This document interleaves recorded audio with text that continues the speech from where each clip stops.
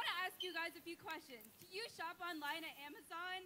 Do you use Google at least 10 times a day? Do you share pictures on Instagram?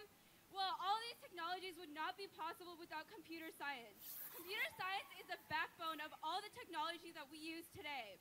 My name is Kavya Kopparapu. I'm 16 years old and I'm a junior at Thomas Jefferson High School for Science and Technology.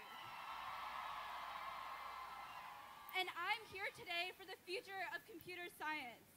Computer science is at the forefront of every field. So why don't we have an emphasis on computer science education?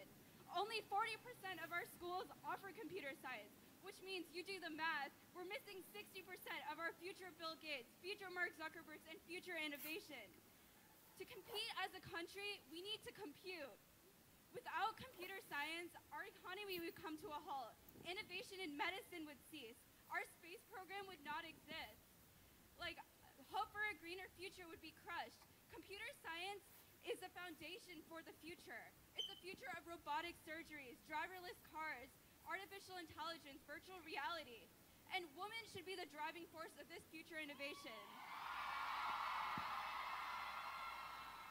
Computer science is for all.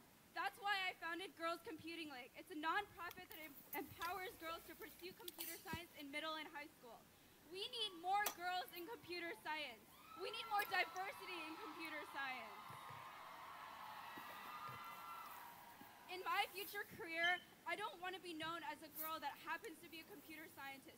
I want to be known as a computer scientist that happens to be a girl. Today, I am marching for computer science to be for all ages, all genders, and all races. Today, I am marching for computer science for all.